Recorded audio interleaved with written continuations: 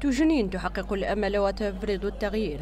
عنوان حفل نظمته حملة حزب التواصل لتكريم طواقمها في مقاطعة تجنين احتفاء بالتصدر مرشح الحزب نتائج المقاطعة بعد المرشح ولد الغزواني إدارة حملة تواصل قالت إن الحزب استطاع أن يحقق نتيجة كبيرة رغم تدخل الدولة في المسار الانتخابي وانحيازها لطرف معين إضافة إلى الضغوط المختلفة للتأثير على سير العملية الانتخابية.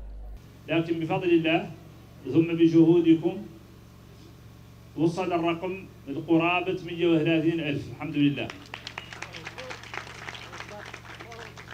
وبين أسلوب السلطة غير الحيادي وتدخلها ونعرجتها على طرف وذاك اللي يعدل من التجاوزات في الانتخابات وذاك اللي يعدل من الترغيب والترهيب وذاك اللي يعدل يواجع من توظيف الوسائل العمومية والخصوصية في زر. وذاك اللي يخلق في زر آخر من اللي من الاستقطاب للأسف.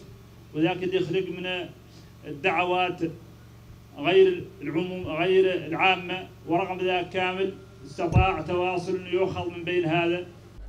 وأكد المشاركون في الحفل أن مقاطعة تجنين تواصلية. وقد عبرت عن ذلك من خلال نسبة الأصوات التي حصل عليها الحزب بالمقاطعة. صوتوا لهم فتمكن تواصليون من الفوز في مراكز عديدة في مركز نايب مركز مدرسة مركز النايب هذا المركز الذي يضم 13 مركزا. تفوق فيه تواصل في جميع في جميع مكاتبه. الصويلة الصويلة القلعة العظيمة الأصيلة في تجنين صوت الرجال فيها والنساء لصالح تواصل.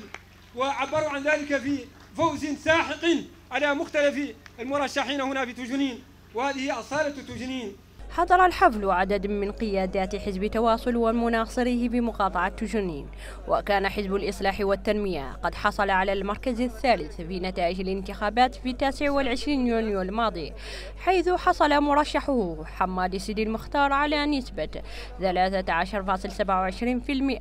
من الأصوات بعد المرشح برام الدها عبيد الذي حصل في المرتبة الثانية على نسبة 22% والمرشح الفائز بالانتخابات محمد ولد الغزواني الذي حصل على نسبة 56%